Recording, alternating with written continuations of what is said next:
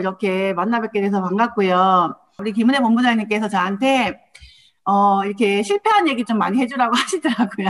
사업 진행하면서 이렇게 우리가 어려운 일들이 많이 있잖아요. 그래서 그런 실패한 이야기 조금 해주면 좋겠다. 라고 말씀을 해주셔가지고 사업자분들하고 같이 같이 공감하고 또 이걸 어떻게 우리가 이겨나갈 수 있을까라고 하는 그런 어, 이렇게 하는 시간들을 한번 가져봤으면 좋겠습니다. 강의하기 전에요. 네, 제 소개 잠깐 하고 그렇게 시작하도록 하겠습니다. 제가 처음에 세미나 갔을 때요. 그때 그 회장님께서 말씀하셨던 게 있어요. 그거 그 말씀 듣고 너무 가슴이 떨리더라고요. 그것이 희망이 없을 때 유일한 희망은 희망을 갖는 거다라고 말씀하셨고요.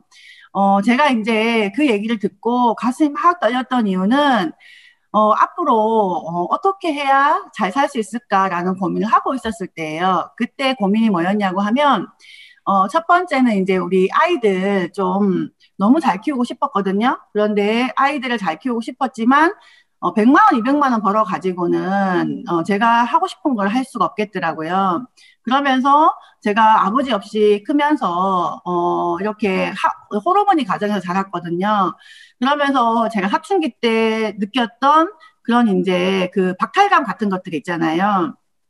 너무 하고 싶었는데 하지 못했던 것들 그리고 집이 가난하다 보니까 주눅 들었던 그런 시간들이 굉장히 많았었거든요. 그리고 무엇을 할까? 라고 내가 뭐를 해볼까라고 고민하기 전에 이미 저는 제가 해야 될 일들이 정해져 있었어요.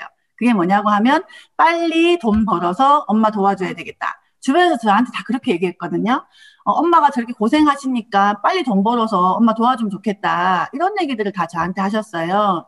그래서 저는 고등학교 때 나는 무조건 여상 갈 거야. 그래서 취업을 해서 빨리 돈을 벌어야 되겠다. 라고 하는 것이 제가 사춘기 때 가졌던 일본 목표였습니다. 그래서 이제 그 이제 여상을 들어갔고 고등학교 3학년 여름방학 때 취업을 했어요.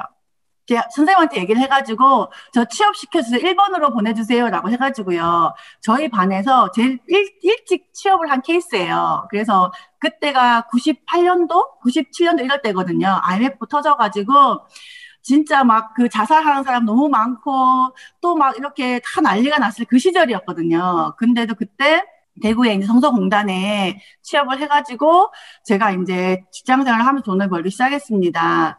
그렇게 수년을 일해도 돈이 모이지 않더라고요. 그러면서 제가 결혼하고 아기 놓고 사는데 아이가 태어났는데 너무 예쁜 거예요. 근데 이 아이에게 내가 뭘 해줄 수 있을까라고 생각을 해봤지만 아무것도 해줄 수가 없었어요. 그래서 그게 저한테는 굉장히 이제 그 하나 좀 잘하고 싶다라는 목표였고요. 또 하나는 제가 이제 어 저희 이제 엄마가 그 목욕탕에서 이제 떼미는 일을 그때 하고 계셨거든요. 나이가 드시니까 몸이 아프시잖아요. 그러면서 어느 날은 포장마차에서 핫도그 굽고 토떡 튀기는 일을 하고 계신 거예요. 그래서 그것도 해봤다가 또 어느 날은 도배를 배우신다 하시더라고요. 그 도배를 막 배우시다가 또 이제 나이가 드시니까 그것도 녹록치 않잖아요. 그러면서 또 어느 날은 이제 그 운전면허증을 따신다는 거예요. 그래서 우리 막내가 있는데 이제 뭐 저희들 집이 특별히 물려받은 재산이 있는 것도 아니고 교육을 잘 받은 것도 아니니까 다 고만고만하게 살잖아요. 그 막내하고 내가 그 운전을 좀 해가지고 트럭에다가 그 과일 장수를 좀 하면 어쩌냐 이런 얘기를 하시는 거예요. 근데 그것도 녹록치가 않죠.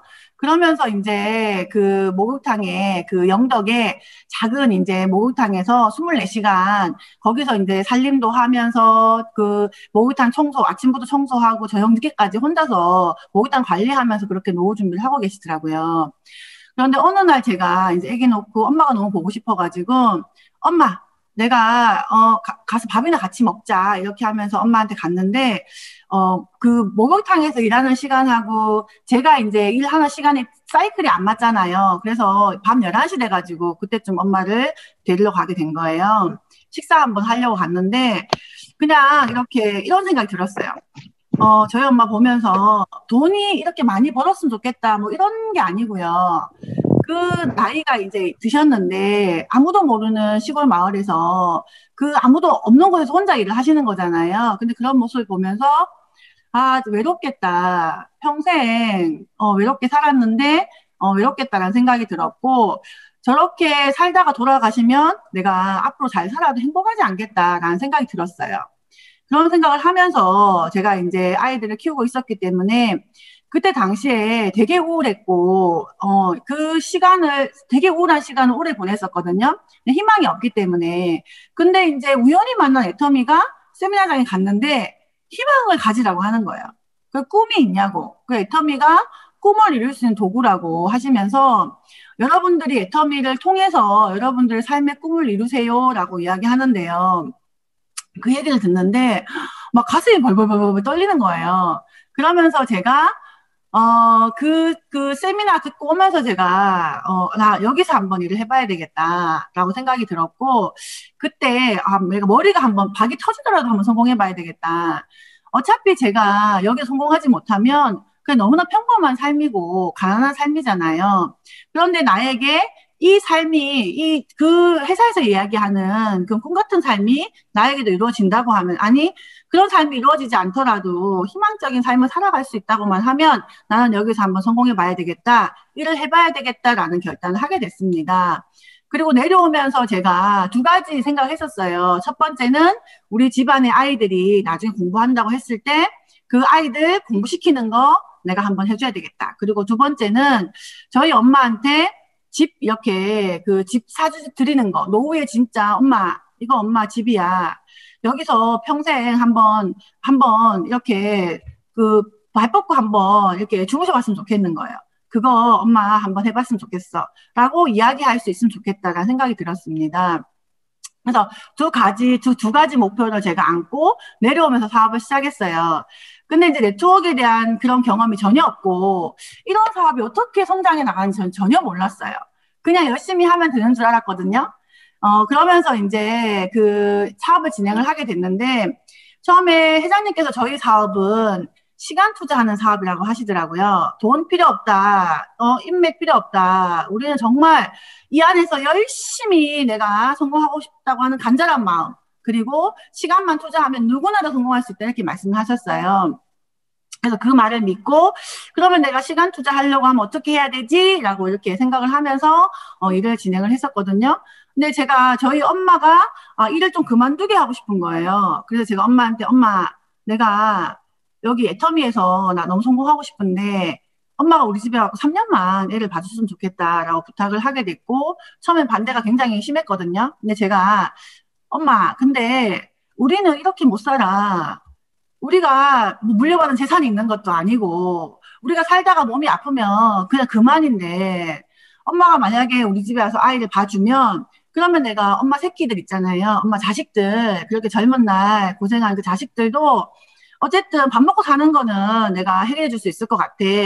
그러면서 내를 좀 도와줘라. 이렇게 부탁을 드렸어요. 그랬더니 자기 먹을 것은 다 자기가 타고 타, 태어나는 것이지 하면서 막 화를 막 내시더라고요. 그러면서 제가 대학도 안 보내줬잖아. 나 대학 보내준다고 생각하고 우리 집에 와가지고 살림 좀 해주면 안 돼? 이렇게 말씀을 드렸어요. 좀 속상해졌던 것 같아요. 왜냐하면 그래도 힘들게 키워놨더니 자식이 그죠? 나가가지고 응? 그렇게 얘기하니까 속상하셨을 것 같아요. 하지만 정말 큰 딸이 뭐 열심히 사업하고 싶다고 하니까 어, 그래도 덕보려고 하는 건 아니고, 정말 열심히 얘기를 하니까 아마 저희 집에 오셔가지고, 아, 도와줘야 되겠다는 생각을 하시게 됐고, 어, 살림을 하셨거든요. 아이 키워주시고. 근데 그게 3년이 아니고 7년을 하셨어요, 7년. 거의 만 6년을 하셨고요. 제가 한 3년 전에요. 아파트, 32평짜리 아파트 사드리면서 이제 저희 독립을 시켜드렸고, 그리고 저희 엄마한테는 이제 매달 제가 200만 원씩 생활비 드린 지가요. 굉장히 오래됐어요. 한 6, 7년 정도 넘었고요. 그 다음에 이제 제가 저희 여동생이 이제 Leaders Club에 들어왔거든요. 그래서 이제 Leaders Club 들어오면서 이제 저희 자매지간 어쨌든 애터미에서 어, 이제 성공자의 대열에 들어가게 됐고, 그 다음에 이제 그 올케도, 어, 사업을 진행을 하면서 지금 이제 auto 판매사 정도 하는 것 같더라고요. 판매사 정도 유지하면서, 어, 사업을 이제 진행을 하게 됐습니다. 그래서 제가 제 돈으로 먹고 사는 걸 해결한 건 아니지만, 어쨌든 애터미 안에서 애터미의 도구를 가지고 사업을 할 수 있도록 정보를 주고, 어, 또 끊임없이 함께 해 나갔더니, 어쨌든 저는 저희 엄마한테 이제 약속한 것들은 이루게 됐어요. 그래서 너무 감사한 생각이 들고요. 지금 생각해 보면 3년 전에 제가 저희 엄마는 집 안 사드렸으면 지금 못 샀을 것 같아요. 집값이요. 한 두 배, 세 배 올랐거든요. 대구도 조금 잘 괜찮다 하는 집은 보통 이제 10억이 넘어가더라고요. 그리고 조금 더 이렇게 괜찮은 동네에 조금 더 넓은 평수를 가잖아요. 그럼 15억씩 이렇게 하더라고요. 그러면서 아파트 값이 굉장히 많이 올랐거든요. 그래서 그때 어, 힘들었어요. 힘들지만 최선을 다해서 노력했던 것들이 시간이 지나고 보니까 그때는 힘들었던 것들이 결국에는 나에게 도움이 되지 않았나라는 생각을 하게 됐습니다. 그렇게 하면서 이제 사업을 진행하게 됐고, 제가 좀 이렇게 되게 부지런히 열심히 했던 것 같아요. 어, 처음에 사업 진행할 때요. 판매사였는데, 판매사도 아니었을 때도요. 그냥 한 명만 소개 나오면 어디든지 쫓아갔었어요. 그냥 어, 한 명만 소개시켜 주세요. 한 명만 소개시켜 주면 제가 다 관리해 드릴게요. 이렇게 얘기를 했더니 그러면 너 천안에 한번 가볼래? 이렇게 하는 거야. 네, 천안에 어디든지 괜찮아요. 하고 천안에도 가고. 그 다음에 너 그러면은 저 부산에 한번 가볼래? 이렇게 얘기하면 네, 어디든지 좋아요 하고 부산에도 가고 하면서 진짜 누구 한 명이라도 어디든지 소개시켜 주면 재고 따지고 하지 않았던 것 같아요. 이 사람이 할 사람인가? 그런 거 생각하지 않았고 어, 그런 거 생각할 수 있는 여유도 없었고요. 재주도 없었어요. 사람 보는 안목도 없었고요. 그냥 열심히 하면 된다라고 말씀하셨기 때문에 어디든지 나를 찾는 사람 한 명은 있겠지.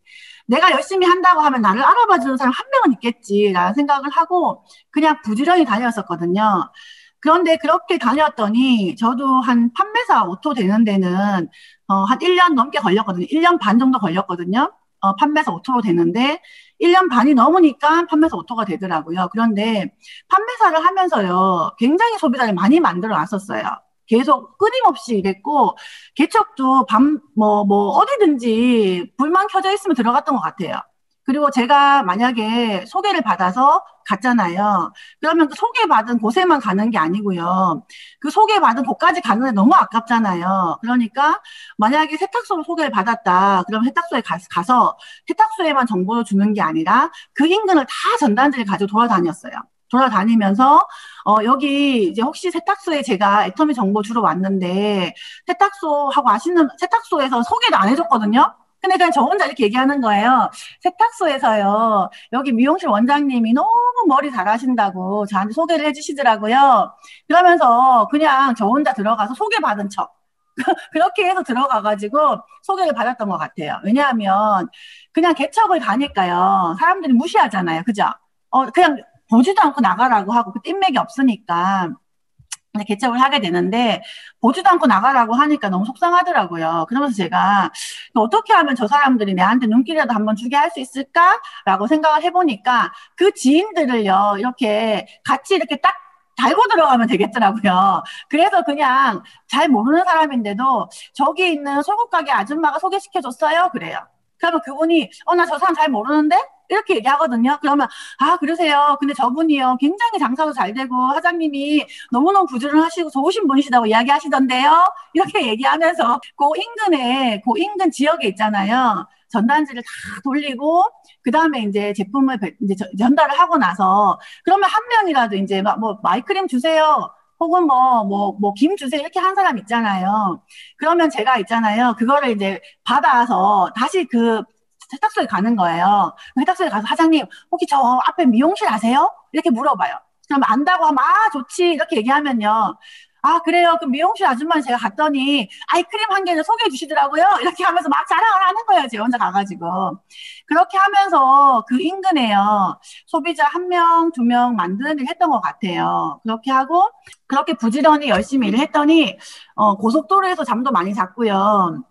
어, 이렇게 소개를 한 명 받으러 가잖아요. 근데 소개받으러 간 자리가 다 편안한 자리는 아니거든요. 거절받거나 아니면은 텅 빈 미팅을 할 때도 있죠. 그죠? 텅빈 미팅을 하고 올 때도 있는데, 그러다 보면은 이제 지쳐가지고 고속도로를 타고 밤에 내려온단 말이에요. 또 어떨 때는 새벽 1시가 될 때도 있었어요. 이제 멀리 다니다 보니까. 돌아왔는데 아파트 앞에 주차를 했어요. 그럼 들어가서 씻고 다시 나와야 되잖아요. 근데 그 손 하나 까딱 할 수 있는 기운이 아닌 거예요, 그때는. 그냥 왜냐하면 이 일도 낯설고, 어떻게 해야 되는지도 모르고, 잘하고 있는지도 모르겠고, 내가 지금 하고 있는 이 일의 의미를 모르잖아요. 왜냐하면 이 일을 어떻게 현장에 나, 시켜 나가야 되는지 그 다음번에 대한 그 어떻게 보면은 비전이 저한테 없는 거예요. 왜냐하면 지금은 제가 소비자 한 명을 만나면 아 이 소비자를 이렇게 이렇게 관리를 해야 되겠다. 이렇게 이렇게 후속 관리를 해가지고 이렇게 이렇게 초대를 해가지고 이런 정도의 비전을 보여주면 이분한테 딱 맞는 비전이 되겠네. 그러면 이분이 내가 신뢰만 더 쌓으면 이제 앞으로 나와 함께 사업할 수 있는 파트너가 될 수 있겠다라고 생각이 들잖아요. 그리고 또 어떤 분을 또 만나면 아, 이분은 사업할 수 있는 사람은 아닌 것 같다. 지금 너무 바쁘고. 그 다음에 어쨌든 지금 이, 이 사업에는 관심이 없는 사람들 있잖아요. 그런 사람들을 만나면 아, 이분한테 소개를 받아야 되겠다. 소개를 받고 라인을 늘려놔야 되겠다. 그런데 이분이 굉장히 여유도 있으시고 있으시고 또 이제 주변에 사람이 많으니까 충분히 소개는 시켜주시겠다. 내가 열심히만 하면 라고 하는 식의 지금은 이제 이제 명단을 적어 보면 그 명단을 어떻게 관리를 해가지고 어디 수준까지 한번 내가 가봐야 되겠다라고 하는 행동의 그 나의 행동 지침들이 스스로 생각하고 그것들을 이제 만, 만들어낼 수가 있잖아요. 그런데 그때는요 그저 다니는 거예요. 그저 아무것도 모르고 어떤 말을 해야 될지도 모르고 그러다 보니까 실수할 때도 실수할 때도 있고 그러면서 이제 다녔던 세월도 속에서요. 어, 부지런히만 했죠, 그때는. 그런데 그렇게 했더니, 어, 어느 날 갑자기 사업하시겠다는 분이 나오기 시작하더라고요. 그러면서 20명, 30명 정도 한꺼번에 나오기 시작했어요. 그러니까 두 달에, 두 달에 한 번씩 200만 원씩 올라갔어요. 두 달 지나니까. 그러면서 2년 딱 넘어가니까 본사에서요, 리더스 클럽 들어갔다가 문자가 왔거든요. 문자가 와가지고, 와, 진짜 너무너무 신기한 거예요. 너무너무 신기한 거예요. 그래서 제가, 아, 진짜 그 소비자를 정말로 많이 만드는 것, 그리고 방향으로 봤을 때는 제가 생각할 때는 그 어떻게 해야 돼요, 저떻게 해야 돼요 하고 생각을 많이 하잖, 하잖아요. 그런데 대부분의 사람들은요, 상담을 할 때 어떻게 하면 되는지 물어봐요, 저한테. 어떤 요런 요런 상황이 어떻게 하면 됩니까? 아, 저는 이렇게 이렇게 하면 좋겠어요. 이렇게 말씀을 드리거든요. 그러면 상담을 하거나 아니면 세미나에서 듣고 배우잖아요. 그러면 실행을 한번 해봐야 되거든요. 행동을 한번 해봐야 되잖아요. 그런데 행동을 해보지 않더라고요. 많은 분들이 행동하지 않고 또 물어보게 되는 거예요. 그러면서 어떻게 하면 되냐고 또 물어보게 되거든요. 그런데 제일 중요한 거는 방향이 맞는지 안 맞는지는 그거, 그것도 굉장히 중요하죠. 하지만 그 전에 해보는 게 더 중요한 것 같아요. 해보는 거. 그리고 방향은요, 애터미 방향은 저는 이렇게 생각합니다. 일단 내가 부지런히 움직이잖아요. 움직여 놓고 나면 소비자는 많이 만들어지죠. 그 소비자 분들을 시스템 안에 초대만 하면 돼요. 저희 사업은 정말 시스템 사업이고 저도 제가 생각해 보면 33살에 사업을 시작해 가지고 이런 일들도 한 개도 몰랐고 그런데요 7만 원 받을 때도 recruiting 했거든요. 지금 많은 분들이 어, 스폰서님은 recruiting이 되잖아요. 뭐 돈이 버니까 되시죠라고 이렇게 말씀하시는 분이 계세요. 그런데 처음부터 뭐 천만씩 천만씩 버는 사람이 아니었잖아요. 첫 수당 한 달에 한 번 첫 수당 받을 때 있었거든요. 제가 물건을 써서 수당 받을 때도 있었고 다른 분들 전달을 하면서 하나하나 소개를 받아가면서 거기서 이득 켰는 포인트로 첫 수당 받을 때도 있었어요. 그게 한 달에 한 달에 한 번일 때도 있었고 어, 어떨 때는 뭐 일주일에 한 번일 때도 있었고 들쑥날쑥 하잖아요. 처음에는 그죠? 근데 그때도요. 그때도 recruiting 했었어요. 지금 생각해 보면 아마 저만 그런 게 아닐 거예요. 지금 이미 성공을 지금 하고 어느 정도 하고 계셨던 분들이 다 어떤 시스템 스폰서님이 다 해줘가지고 그렇게 되신 분은 한 번도 없을 거라 생각하거든요. 근데 7만 원 벌 때도 제가 어떻게 recruiting이 됐나 생각을 해보면 그때도요 미쳐가지고 저 우리 엄마 집 사드리려고 일하거든요. 저를 좀 도와주실 수 있으세요? 저 우리 엄마 집 사드리려고 일해요. 이게 이 일은 그 일을 해낼 수 있어요. 그래서 제가 시작했습니다라고 이야기를 하거든요. 그러면 아시는 분들은요 다 응원해 주시더라고요. 모르는 분들도요 응원해 주시더라고요. 그러면서 이제 부지런히 부지런히 움직였더니 그 재고 따지고 뭐가 어떻게 될까 생각하지 않고 그냥 부지런히 움직였어요. 칫솔 하나라도 배달해 주라고 하면 배달하러 가고 폼크렌즈 하나라도 필요하다고 하면 배달하러 가고 그런 신뢰들이 그런 약속들이 쌓이고 쌓이고 쌓였더니 어느 날요. 아, 그 사람한테 제품 제품 주라고 하면 어, 어, 뭐 하나도 갖다 줘. 뭐 되게 그렇게 해 하면서 소문이 나기 시작을 했고요. 그러면서 한 분, 두 분이 모여들기 시작을 했는데 그 모여들기 시작을 할 때 제가 잘했던 게 뭐냐고 하면요. 시스템에 빠지지 않았던 거예요. 모든 성공자분들이 그렇게 얘기를 하실 거예요. 시스템에 빠지지 않았던 거. 근데 많은 분들이 시스템에는 중요하게 생각하지 않고 밖으로만 많이 제품 전달하는 것만 신경 쓰시는 분도 계실 수 있거든요. 그런데 어, 사람을 만날 때요. 그 사람한테 어떻게 정보를 주느냐 하는 것이 저는 굉장히 중요한 것 같더라고요. 제가 얼마 전에 이제 그 코로나 때 되니까 저희들이 옷을 예전에는 그래도 무대 인사하고 맨날 강의하고 이러니까 철철마다 옷을 사 입을 수밖에 없어요. 근데 아무래도 지금 덜 사 입게 되잖아요. 근데 그저께인가 제가 도저히 안 돼가지고 아 그래도 블라우스라도 하나 사 입어야 되겠다 바빠도 하면서 갔어요. 갔더니 애터미 말씀을 드렸거든요. 그랬더니 그분이 전단지를 보여주시는 거예요. 한 다섯 장인가 여섯 장이 있더라고요. 쌓아놓으셨더라고요. 그러면서 이분도 갔다 가고 이분도 갔다 가고 보여주시는 거예요. 그래서 제가 아 그래요 사장님 이제 보면서 아 요거는 이, 이거는 사장님 2018년도 거네요. 이건 버리시고요. 이러면서 제가 전단지를요. 이렇게 막 그중에 좋은 전단지를 골라줬어요. 골라주신 드리면서 이거 사장님 쓰면 돼요. 라고 말씀을 드렸고 지금도 제 가방 안에 커피랑 파인자임이랑 홍삼단, 비타민C 이런 거 다 넣어 다니거든요. 그래서 이렇게 쌓아가지고 어디를 가면 드리려고요. 거기에다가 다 가져가면서 사장님 블랙커피 진짜 맛있어요. 이거 드시고요. 파인자임은 소화제인데요. 이거 드시면 돼요. 하고 물 좀 주세요. 500ml 물 하나 줘보세요. 하면서 홍삼단을 하나 태워드렸어요. 그러면서 알갱이 이거 손에 얹어드리면서 이거 한번 드셔보실래요? 하면서 이제 그냥 알갱이 하나 또 이렇게 손에 얹어드리고 이거 이게 지금 몇 퍼센트고요. 왜 씹어보세요. 그럼 조금 안에, 안에는 끈적끈적하죠. 이게 왜 이렇게 되는 거예요? 1g당 20mg 그러면 진세온 사이드가 들었어요. 하다님 지금까지 드셔보셨던 홍삼단 혹시 지금 홍삼 같은 거 홍삼 제품 드시는 거 있으세요? 그거 뚜껑 뭐 봉지 있으시면 저 한번 줘보세요. 이렇게 얘기를 해가지고요. 말씀을 드렸더니 이분이요. 홍삼 단이랑 파인 자임이랑 블랙커피랑 밀크커피를 주문해 주셨어요. 그럼 주문 받으면 다음번에 가야 될까요? 안 가야 될까요? 또 가야 되죠, 또. 후속 관리 하, 죠 그래서 제가, 아, 이분을 조금 더 후속 관리해서 7월에, 우리 이제 또 7월 되면 ACC 시작하잖아요. 그럼 ACC에 이분을 갖다가 초대를 하는 일을 한번 해봐야 되겠다라고 하면서 제가 목록에다 이렇게 다 체크를 하고 머릿속에 이제 앞으로 어떻게 하면 되겠다라는 계획을 또 한번 세워봤습니다. 그렇게 하면서 그냥 얘기, 이제 얘기를 했는데요. 이렇게 많은 사람들에게 다양하게 그분한테 맞는 사업 설명을 할 수 있게 만든 곳은요, 세미나거든요. 세미나 안에서 저를 계속 갈고 닦는 거예요.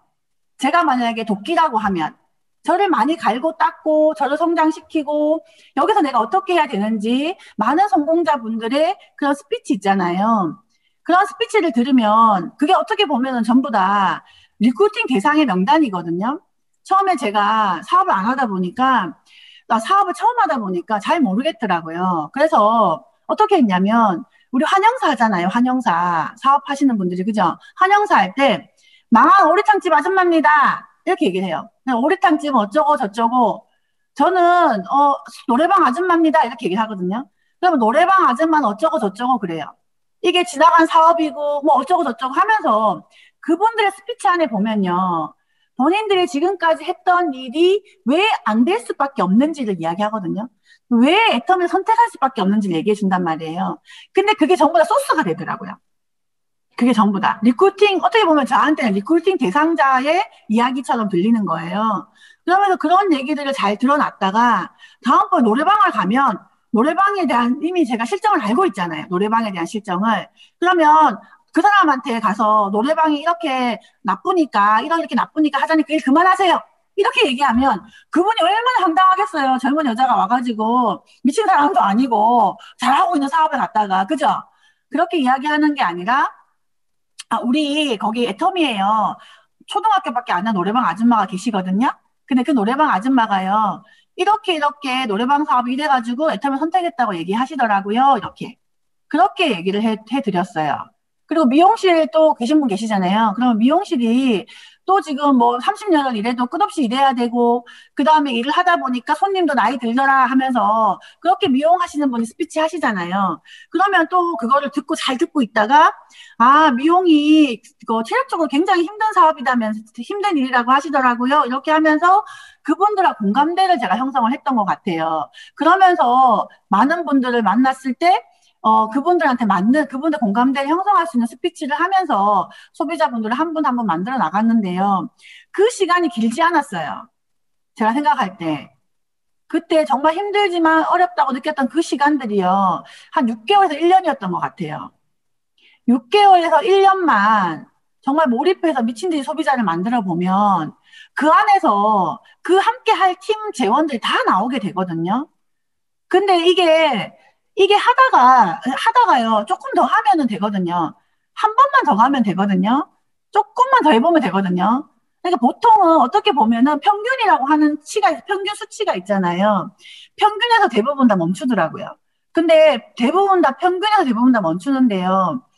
거기서 한 번만 더 나가면 또 다른 세상이 열리더라고요. 한 번만 더 나가면. 그러면서 다음에 갈 때는요. 커피 한 잔 하고 가, 더운데. 이렇게 얘기하시는 거예요. 이렇게 더울 때도 다니냐? 그렇게 이야기하시고 주변에 있는 분들, 야, 여기 애터미 하는 아줌마인데, 여기 지금 아이크림, 뭐, 이런 거 지금 하고 있더라. 내가 써보는 좋더라. 열심히 하는데 몇 개 좀 사줘라. 이렇게 하면서 포인트가 일어나기 시작하는 거예요. 근데 그 포인트, 그분들이 그렇게 사준, 제, 그, 그분들이 사업자가 된 건 아니에요. 하지만, 제가 이 일을 알아먹을 때까지 계속 처음에는 모르잖아요. 근데 이 일을 알아먹고 이 일의 확신과 믿음이 정확해지고 어떻게 진행해야 되는지 알아가는 과정 중에 그런 일들을 하면서 그분들이 일으켜줬던 포인트 때문에 7만원 수당을 받고 그 수당으로 제가 기름값 살 수 있는 여유가 생겼고요. 그, 그 수당들 하나하나가 모여가지고 제가 비용을 하면서 이 일을 해 나갈 수 있는 그 환경이 만들어졌어요. 그분들이 지금, 지금 생각해보면 그분들이 지금 사업하시는 분들 한 분도 안 계시거든요. 하지만 그분들 넘어 넘어에 계셨던 분들, 그분들이 소개 한 번 해줬던 분들, 꾸준히 했더니, 이렇, 이랬더니 그런, 그런 남들이 얘기하는 뭐 그런 걸로 성공하겠어? 이렇게 한다고 되겠어요? 얘기하는 그런 근본적인, 본질적인 것들을 꾸준히 계속 했더니 그런 거를 통해서 한 분, 두 분 소개가 나오기 시작했고, 그리고 시스템 안에서 계속 배웠잖아요. 배웠더니 정말 괜찮은 사람이 나왔을 때가 있었어요. 지금하고는 내가 지금까지는 노점에 있는 아줌마 파 이렇게 같이 파 따듬어 주면서 해모임 하나 주문받고 그 다음에 이제 밤, 밤 닦아주면서 해모임 하나 주문받고 과일 가게 가가지고 앉아가지고 하나 주문받고 그럴 때가 있었거든요. 근데 그렇게 했을 때 힘들다, 어렵다, 속상하다 이런 얘기 계속 듣잖아요. 근데 세상에 그런 거가 딱 지나고 나니까 한 레벨 업그레이드된 소비자 그룹이 딱 소개가 나오기 시작하더라고 그러면서 그 재미가 있는 거예요. 처음에 칫솔 하나, 치약 하나만 배달했었는데 뭐 뭐, 뭐 하나 갖다, 해모임 하나 갖다 주면 좋겠다. 유산균이 필요하다. 아니면, 아니면, 뭐 유산균 세 개가 필요하다. 막 이런 식으로 주문이 되는 거예요. 그게 너무너무 신기했던 것 같아요. 그런 시간들을 보냈더니, 그럼 누구나 생각하는, 이렇게 해서 일이 되는 거야? 라고 생각하는 그런 시간들을 1년 반 딱 보냈더니 집중했더니 그분들 속에서 소비자가 나오고 사업자가 나오고 하면서요. 그 6개월 만에 리더스를 가게 되는 기적적인 일이 일어났잖아요. 저는 지금도 이제 사업 진행하시는 분들 중에 어 이제 그 개척하시거나 아니면 자기 인맥들도 있으시죠. 첫 번째는 본인 인맥들을 가지고 사업을 해라 먼저. 왜냐하면 그분들이 결국에는 나와서 힘이 되시는 분들이 되어주는 경우가 많거든요. 어렵고 힘들 때는 찾아가실 분들이시잖아요. 정보를 먼저 드려라. 제품 쓰고 안 쓰고 상관없다. 내가 이텀에 하고 있는 것만 알려드리세요. 꾸준히 하고 있으면 결국엔 나에게 제품을 써주실 분들이기 때문에 먼저 전달을 하라고 말씀을 드리고 그 다음에는 정말 그래도 사람이 없다라고 하시는 분들은 그러면 해야 될 일을 다 하고요. 남는 시간이 짬짬이 남는 시간 있잖아요. 점심 시간 지나고, 저녁에 일 다 마치고, 이럴 때, 그러면 그럴 때는 개척을 하시라고 말씀을 드려요. 왜냐면 저는 개척을 많이 해서 소비자 그룹을 많이 만들었기 때문에 그렇게 해서라도 되는 사업이라는 걸 알기 때문에 말씀을 드리는 거고요. 최근에 이제 오히려 저는 이제 시작하시는 분들한테는 아시는 분들 정보를 드리라고 말씀을 드리고요. 본부장님들이나 국장님들 계시거든요. 수입이 좀 되는 국장이나 본부장님들한테는 개척을 한번 해보세요. 이렇게 말씀을 드립니다. 왜냐하면 스폰서가 성공한다고 파트너 성공하는 거 아니고 파트너가 성공한다고 스폰서 성공하는 거 아니잖아요. 저희 일은 그죠? 그죠? 저도 제 위쪽으로 업라인 사장님들 중에 다 사업은 잘하고 계세요. 리더스도 계시고 본부장님도 많이 계시거든요. 그런데 제가 더 먼저 열심히 부지런히 했더니 조금 더 먼저 페이가 되는 일이 발생을 했잖아요. 제 파트너 중에서도요. 저는 성공을 했는데 뭐 성공을 아직 하고 계시는 분도 계시지만 성공을 이것을 비전을 보지 못하고 떠나시는 분도 계세요. 그냥 돈이 많이 됐음에도 불구하고 떠나신 분도 계시거든요. 결국에 이 사업은 각자의 몫이 있다고 생각이 들어요. 각자가 해야 될 몫이 있고, 각자가 본인이 해야 될 몫을 스스로가 했을 때 그것이 시너지가 나서 배가가 되는 거지. 본인이 일을 하지 않고서 배가가 되는 일은 절대가, 없, 절대가 없거든요. 그리고 일을 하다 보면요. 이게 익숙해지고 일이 알아지잖아요. 그러면 더 좋은 사람이 나와요. 더 좋은 사람이 나오고 더 좋은 하면은 이 일은 될 수밖에 없다는 것을 알아지기 때문에 그러면 이 일이 너무 재밌어지는 거예요. 그냥 길 가다가 이야기를 해도 소비자가 선택이 되고 사업자가 나오게 되는 거예요. 그래서 하면 된다는 걸 알기 때문에 재밌어지더라고요. 근데 최근에 제가 조금 더 이렇게 애터미 비전이 명확하신 분들에게 개척을 좀 해라라고 말씀드린 이유는 뭐냐고 하면 지금 그 지금 애터미를 코로나에 아예 적응하지 못하고 애터미를 이렇게 하고 계신 분 많이 계시잖아요. 그래서 지금 사실은 제품을 쓰시다가 관리해 주는 사람이 없어서 못 쓰시는 분들이 굉장히 많이 계시거든요. 그런데 그분들이요. 본인 이미 코로나가 1년 반이 넘었잖아요. 본인들 코드가 없어진지 모르시는 분들이 또 많으시더라고요. 지금, 지금 이제. 그래서 지금 제가 만나는 신규분들은요, 사업을 했었던 분들, 그런 분들이 예전에 사업을 했었는데 스폰서가 그만둬서 함께 못하게 됐던 분들, 제품을 쓰고 있었고, 어, 또 그리고 시스템에 가본 적이 있어요. 세미나 가본 적이 있어요. 그래서 애터미가 하면 되는 사업인 건 알아요. 그런 분들 굉장히 많이 계세요. 애터미 잘 되고 있지. 애터미 지금 엄청 나잖아. 난 애터미 이렇게 클 줄 몰랐네? 라고 하시는 분들 굉장히 많이 계시거든요. 그런데 그런 분들이 제대로 된 그 정보, 함께할 팀을 못 만났거나 스폰서를 못 만나서 지금, 어, 애터미를 안, 가까이 안 하고 계신 분이 너무 많다는 생각을 제가 많이 했어요. 그래서 오히려 지금은 애터미에 대해서는 정보가 많이 있기 때문에 제품을 써보게 하고 써보고 나서 제품이 좋아서 애터미가 괜찮다라고 해서 그 사람의 마음속에 있는 어떤 애터, 그 네트워크에 대한 불신, 불만 혹은 뭐, 뭐 이렇게 피해볼지도 모른다라고 하는 그런 이제 일들은 많이 없어진 것 같더라고요. 애터미 얘기하면 제품 싸고 좋은 거 다 알아. 뭐 그거 한다고 피해보냐. 자기 쓰고 싶은 거 쓰는 건데. 내 제품은 내가 쓰고 있어. 근데 돈이 안 돼. 이렇게 얘기하시잖아요. 그죠? 돈이 안 돼. 이렇게 얘기하시잖아요. 그러면 결국에는 왜 돈이 될 수밖에 없는지 누군가는 지금 수익이 되는 거야. 지금 거의 2조 애터미가 매출을 하고 있는데 그러면 7,500억은 수당으로 나가고 있는 거잖아요. 그럼 지금 계속 매출이 늘어난다고 하면 누군가는 수익이 되는 거고 부자가 되고 가고 있다는 증거잖아요. 그러면 그 증거, 이 일이 될 수밖에 없다라고 하는 그 비전, 그 키워드를 가지고 있으면서 그거를 전달을 하시는 거예요. 왜 애터미가 될 수밖에 없는지. 애터미라고 하는 사업이 지금 글로벌 원서버잖아요. 이제 영국이 오픈하면 28개국인가? 가 사업자가 된다고 하잖아요. 그러면 오픈은 영국만 하지만 사실은 프랑스나 이탈리아도 다 사업자를 만들 수 있는 거예요. 26개국인가가 동시 오픈하는 거와 똑같거든요. 그럼 저희들이 지금 40개, 50개 나라가 오픈한 거하고 똑같은 이제 그런 기적적인 일을 저희들이 지금 하고 있는데, 어, 그렇게 이제 애터미에 대한 명확한 비전, 그래서 이게 결국에는 나보다 더 나은 사람이 나올 수밖에 없는 구조라고 하는 것들을 열심히만 하면 될 수밖에 없다고 하는 그, 그것을 내가 알고 있고, 그것을 다른 사람들한테 이야기해 줄 수 있다고만 하면, 될 수밖에 없다라고 하는 것을 이야기해 줄 수 있다고만 하면요, 저는 지금 현상에서는, 현장, 어, 지금 같은 이런 시기에 오히려 사업을 하여 굉장히 좋은 시기라고 생각을 해요. 확신만 있다고 하면. 확신이 있는 만큼 우리가 투자를 하게 되어 있는 거잖아요. 근데 애터미 사업에 투자라고 하는 거는 만약에 돈으로 투자한다고 하면요. 애터미 사업 돈으로 투자한다고 하면 몇 번 하겠어요? 판매사 하면 천만 원. 팀장 하면은 뭐 몇 천만 원 되잖아요. 돈으로 하는 사업이 아닌 거예요. 경비가 되니, 드니까 문제가 되는 거죠. 근데 경비 드는 거는요. 저는 이렇게 생각해요. 움직인다고만 하면, 일을 하고 있다고만 하면 내가 벌 수 있는 거예요. 부지런히 움직인다고만 하면 기름값이나 밥값은 벌면서 사업할 수 있거든요. 아마 저희들이 집에 있는 돈 갖다가 쓰면서 사업했었으면요. 이 사업 성공 못 시켰을 거예요. 그래서 그, 그 확신과 믿음의 크기를 키우고 그것을 가지고 그게 무기인 거예요. 어떻게 보면. 애터미 사업의 가장 큰 무기는 애터미가 성공할 수밖에 없다라고 하는 그 마음을 다른 사람에 전달하는 거고 그래서 내가 이 일을 왜 하는지 와에 대해서 정확하게 비전이 있고 그리고 왜 성공할 수밖에 없는지 그리고 내가 어떻게 성공해 나갈 건지에 대한 그것을 계속 생각한다고 하면요 성공할 때까지 할 수 있는 사업이거든요. 처음에 생계 문제가 해결되지 않을 때 그때 잠깐 힘든 거예요. 그런데 저희처럼 수익이 되고 나면요. 이 정도 되고 나면 힘든 일이 생겨도 밥 먹고 사는 일을 할 수 있잖아요. 어차피 밖에 나가서 돈 벌어봐야 밥 먹고 사는 일밖에 아니거든요.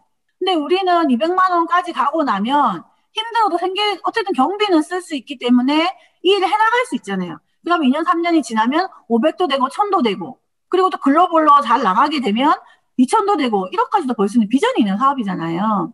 다른 일을 해서 5년 뒤에도 200인 거예요. 우리 일은 5년 뒤에면 훨씬 더 많은 수익이 될 수 있는 일인데 중요한 거는 지금 내가 일을 얼마나 하고 있느냐, 정말 현장에서 일을 하고 있느냐, 진짜 매일매일 포인트를 일으키고 소비자를 만나고 악착같이 내가 목표를 정해서 하고 있느냐 하는 차이가 작은 차이인 것 같지만 이 차이가 꾸준함의 차이가 매일매일 일하는 이 차이가 어 1년 뒤에 2년 뒤에 어떤 사람은 리더스 어떤 사람은 또 그냥 판매사도 아닌 사람을 만드는 차이가 아닐까 생각이 들고요. 얼마 전에 이제 제가 상담을 했는데 어떤 리더분이 어, 그렇게 얘기하더라고요. 지금 내가 돈이 안 되고 나를 어떻게 하지 못하는데 미래가 무슨 소용이 있냐라고 말씀을 하시는 분이 계셨어요. 그래서 제가 뭐라고 말씀드렸냐면 사장님, 사장님이 생각하는 지금 현재는 현재인가요? 이렇게 물어봤어요. 사장님이 생각하는 지금의 현재는요, 2년 전의 미래였어요. 2년 전의 미래가 지금 현재가 된 거예요. 그러면 사장님이 생각하는 2년 뒤의 미래는 또 현재가 될 날이 오지 않을까요? 라고 말씀을 드렸어요. 그러면 2년 뒤에 현재가 왔을 때 그때 내가 뭔가 더 나은 삶을 살 수, 살 수 없다고 한, 살 수 있다라고 하는 그런 생각이 나한테 들어지지 않는다고 하면 어차피 똑같은 거 아니에요? 그 생각을 벗어나지 못하면 어차피 사장님은 똑같다. 2년 뒤에, 2년 뒤에 내가 됐을 때, 3년 뒤에 내가 됐을 때도 이 상황이 벗어나지 않는 거다. 잘 생각해 봐라. 3년 전에 나는, 나, 지금의 나를 어떻게 생각했냐. 라고 제가 말씀을 드렸어요. 그러면서 우리가 생각하는, 우리가 생각하는 미래, 우리가 생각하는 노후, 이런 것들이요. 결국에는 현재라는 거예요. 제가 생각할 때는. 그래서 우리는 현재를 계속 살아야 되는 거예요. 현재를 계속 살아야, 그래야 미래도 있다고 저는 생각을 하거든요. 지금을 살지 않으면 2년 뒤에 지금도 없는 거라고 생각이 들면서 그러면 지금을 사는 방법이 뭐냐라고 생각이 들었을 때 저는요 어차피 애터미 일에서의 일은 지금은 소비자를 많이 만들면 그들 속에서 나보다 더 나은 사람이 나온다고 하는 그런 확신 그 애터미, 애터미 회사는 계속 성장을 하잖아요. 이제는 애터미는 우주선을 탔잖아요. 그죠? 그, 그 무중력 상태로 들어갔어요. 연료가 없어도 돌아가는 상태. 연료가 없어도 계속 성장할 수밖에 없는 거기까지 가게 된 거예요. 그러면 앞으로 나, 내가 거기까지 가려면 어떻게 해야 되는지 생각을 하고 진행을 하면은 정말 좋겠다라는 생각이 저는 정말로 많이 들었습니다. 그래서 제가 이제 그런 미팅들을 하면서 사업을 지금 진행을 하고 있고요. 자, 그래서 지금 여러분들이 지금 상황에서 개척을 하시는 분이든 뭐 어떻게 시, 그 새로운 사람을 만나러 가는 분이든 아니면은 또 이제 또 지인을 만나러 가는 분이든 간에 그런 분들에게 내가 이 일을 왜 하고 있고 앞으로 어떻게 성공해 나갈 거며 왜 성공할 수밖에 없는지 이것을 한번 잘 이야기하셨으면 좋겠고요. 하나 또 제가 말씀드리고 싶은 게 뭐냐 하면요. 우리가 그냥 들으려고 듣는 거 하고요. 말해 주려고 듣는 건 완전 다르거든요. 그죠? 그런데 많은 분들이 세미나를 들으실 때 그냥 들으시는 분도 계시더라고요. 그런데 저는요, 이 사업 설명을 하려고 한번 들어보셨으면 좋겠어요. 사업 설명을 내가 해봤으면 좋겠어요. 저희들이 내가 한번 해봤으면 좋겠어요. 그거를 써서 그냥 들, 들으면서 아 맞아 이렇게 얘기하는 거하고 다른 사람들에게 이해하기 쉽게 말해주는 거는 다르거든요. 그래서 저는 파트너 사장님들한테 모여가지고 미팅하실 때 그런 거 한번 해보게 해봐라.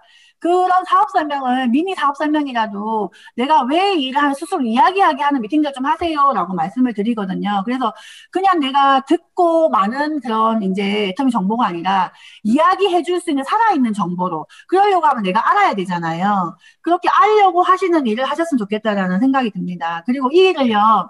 언제까지 일을 해야 돼요? 라고 하시는 분 많이 계시거든요. 이것도 똑같은 맥락이라고 생각을 해요. 언제까지 해야 돼요? 저는요, 성공할 때까지라고 생각을 하거든요.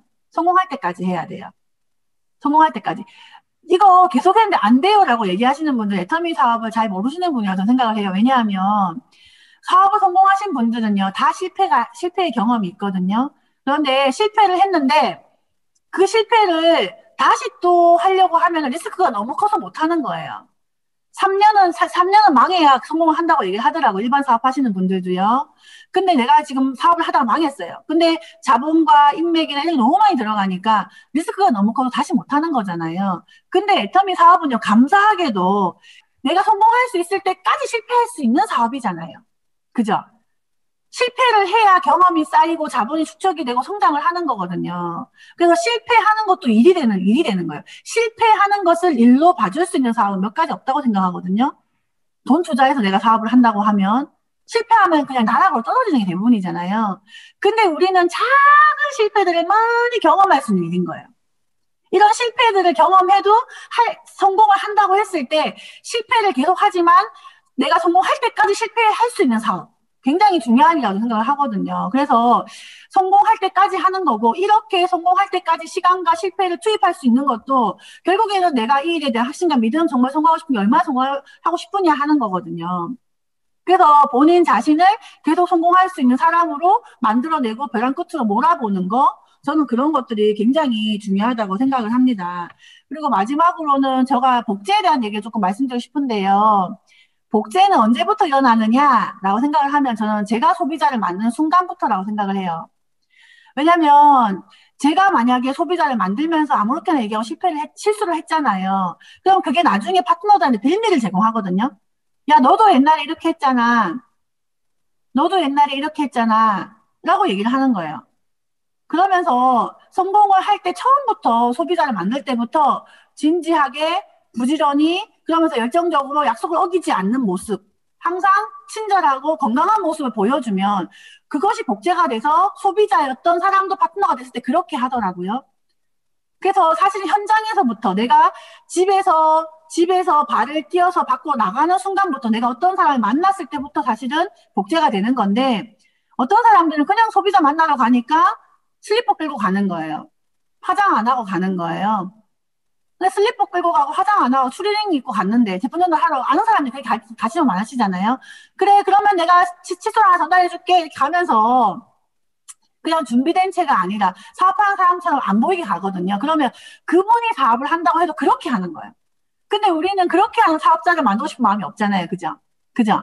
그래서 사실은 어, 아는 사람 만나러 갈 때 맨날 추리닝 입고 가서 만났던 사람이라도 내가 제대로 블라우스를 하나 입고 가면 그분이 속으로는요 어, 쟤 이상하네. 정신 나갔나?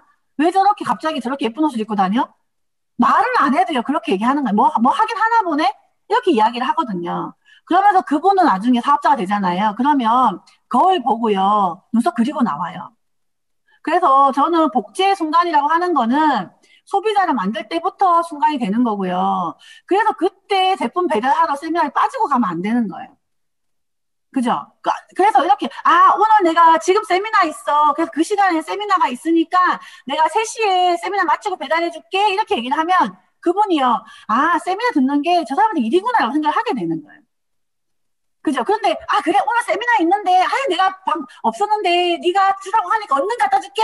이렇게 하고 갖다 주잖아요. 그러면 그분도 나중에 사업할 때, 아, 세미나는 제품 배달 오는 사람이 있으면 안 해도 되는구나. 이렇게 생각하는 거예요. 해봐야 그 차이가 몇 시간 차이잖아요. 오전에 조금 더 일찍 일어나면 준조에 들을 수 있고. 그죠? 그냥, 그냥 10시부터 one day 조금 더 들을 수 있고. 그잖아요. 저녁에 조금 더 퇴근 애틈에 들으면 되고. 그잖아요. 그래서 그 시간만큼은 나를 성장시키 칼을 가는 시간이에요. 혼자서 이빨 깨물고. 내가 진짜 저 X한테 내가 나 보여주리라. 돈 쓰는 거 너무 좋은데 백화점 가고 진짜 black card 한번 끌어보고 싶잖아요, 우리가. 그죠? 막 루이비통, 에? 샤넬, 네? 생로랑 한번 사, 사봐야 되지 않겠어요? 그런 거 사려고 하는데 black card 끌어야 되는데 우리가 지금 백화점 명품관 가가지고 그러려고 하는데 그냥 되겠냐고요. 칼을 갈아야 되는 거예요. 혼자 있을 때. 그 칼 가는 시간이 뭐냐고 하면 성공자들의 스피치를 듣고 보고 또 결국에는 나랑 똑같은 시기 시작했는데 누군가는 실패했고 누군가는 성공했잖아요. 아, 선의 경쟁도 하고 그렇게 하면서 일을 이제 해 나갔으면 좋겠다는 생각이 듭니다. 제가 지금 음, 저는 이제 되게 빨리 성장을 했거든요. 그런데 사업하고 5년쯤 지나니까요. 어, 5년쯤 지나니까 큰일이 한 번 겪었어요. 우리 그 유명한 지 말발 말발굽 뭐 이렇게 가, 말굽인가 뭐 얘기하시잖아요. 그래서 거기에 이제 거기에 그때 막 애터미 사업자들 대상으로 사람들 끌고 갔었어요. 그 사람들이요. 그러면서 우리 팀에서요. 한 100명 가까이 빠졌어요. 많이 빠졌죠. 그죠? 제가. 그런데 어차피 우리는 성장을 해 있으니까요. 근데 제가 5년 동안 사업을 숨도 안 쉬고 했는데 그런 일 겪으니까요. 타격이 굉장히 있더라고요. 성공 못할까봐 타격이 있는 게 아니고 사람이 두려운 거예요. 사람한테 정을 줘도 될까? 내가 도대체 뭐를 잘못해서 이런 일이 나한테 생겼지? 라고 하면서 굉장히 저를 스스로 원망하고 안타깝고 속상하고 이런 시간들이 있었거든요. 그런데 그런 시간들 하루 딱 가졌어요. 하루. 하루. 하루 펑펑 울고 스폰서님 전화해서 아침에 새벽에 6시 내가 전화해가지고 펑펑 울고 우리 스폰서님도 펑펑 울고 같이 아이고 야야 진짜 내가 왜냐면 우리가 성공 못할까봐 두려운 게 아니에요. 함께 했던 사람에 대한 신뢰가 떨어지는 거에 대한 아픔인 거잖아요. 그런 일이 있고 제가 하루 딱 펑펑 울고 나서 잊어먹었어요. 이제 잊어먹고 문제를 해결하는 것도 굉장히 중요하지만 저에게는 해결되지 않는 문제들을 갖고 씨름하시는 분 계시잖아요. 문제를 해결하는 것보다 저에게는 더 나은 세상으로 나가는 게 더 중요했던 것 같아요. 그래서, 아, 이거는 배우는 기회야. 우리에게 고난이 있거나 어떤 문제가 생긴다고 하면 그거는요, 성장의 시간이라고 생각을 하거든요. 내가 완벽했으면, 완벽했다고 하면, 그러면 그런 문제가 안 생겼죠. 그죠? 그런데 지금 성공하신 분들은 많은 문제를 겪고, 많은 문제를 겪었기 때문에 지금 그 자리에 온 거거든요. 그래서 많이 다져지고 문제 해결 방법을 알게 되고. 근데 실패를, 실패를 했을 때 그 실패는요, 나를 만드는 시간이 되는 거예요. 내가 뭘 잘못해서 지금 이런 일이 생겼을까? 그러면 이런 거를 조금 더 내가 잘해보면 되겠네. 이렇게 생각을 하는 거죠. 그러면서 그때 제가, 아, 이걸 통해서 내가 배워야 되는 게 뭐지? 라고 생각을 했고, 아, 저는 너무 많이 해주는 사람이었어요. 사업을 해본 적이 없, 좀 해본 적이 없었기 때문에 파트너 사장이 모든 걸 쏟아서 해준 사람이었는데, 아, 이게 너무 소원을 많이 한다고 되는 사업은 아니구나.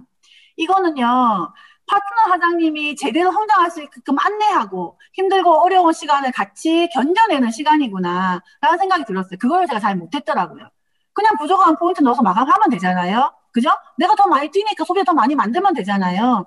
그냥 그렇게 생각을 했기 때문에 그까지는 왔죠. 하지만 거기에서 조금 더 성장을 나와 함께 하고 싶었던 리더들이 없었기 때문에 또 그분들은 또 그런 100억 버는 일을 하러 가셨지 않았나 생각이 들어요. 1억이 너무 적다고 하시더라고요.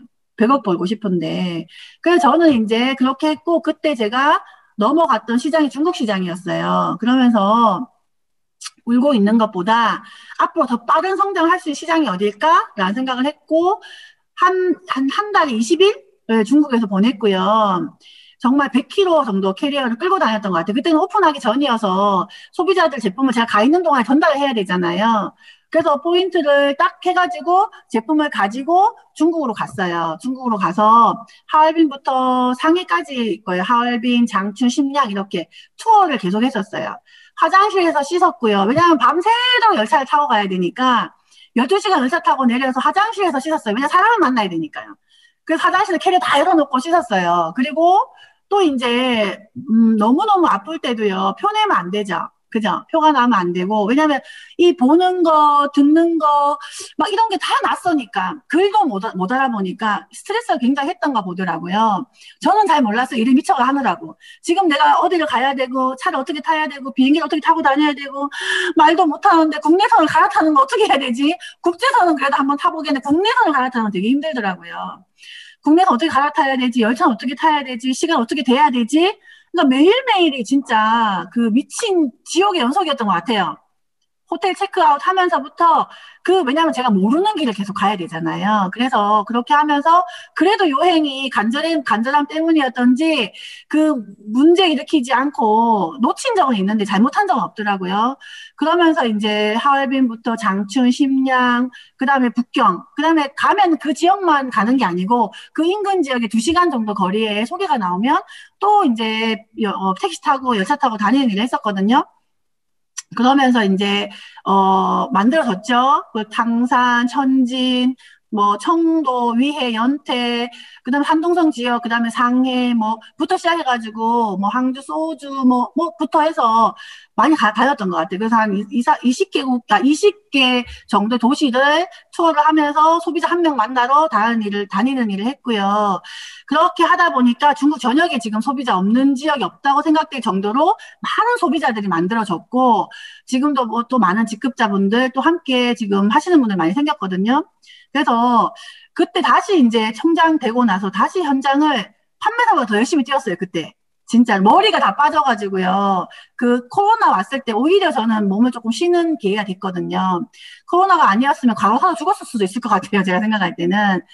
그렇게 하면서 더 나은 시장으로 나가야 되겠다. 왜냐하면 애터미 비전은 끝이 없잖아요. 뭐 내가 있는 지역에서 안 되잖아요. 그럼 다른 지역으로 가세요. 지금 내가 있는 데서 안 되잖아요. 그럼 또 더 좋은 사람 만날 수 있어요. 내가 지금 안 되는 거 그것만 바라보고 있으니까 힘들다고 느껴질 수 있지만 그렇지 않거든요. 전 유럽으로 가려고요. 진짜 유럽 여행 갔더니 이탈리아, 프랑스, 스페인 정말 너무너무 아름답고 너무너무 좋더라고요. 근데 유럽에서 우리가 동상 받았잖아요. 앱솔루트가 그죠? 상 받았잖아요. 야, 이제 유럽 화장품의 본고장, 뭐 패션의 본고장, 이런 데서도 우리가 이제 살아나는구나. 미쳤다, 이제 애터미 정말 미쳤구나, 애터미가. 이런 데서도 우리가 상을 받는다, 화장품으로.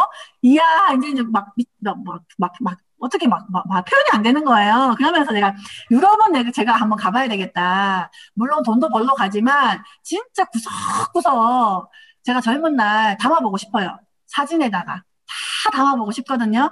그 아름다운 해변이며 건축물이며 사람들의 여유로움이며 그죠? 패션이며 뭐 이런 것들 제가 한번 젊 제가 한, 한 2, 3년은 내가 가서 고생 좀 하고 거기 구석구석 누비면서 한번 다녀봐야 될 생각을 하고 지금 신나게 사업을 진행하고 있습니다.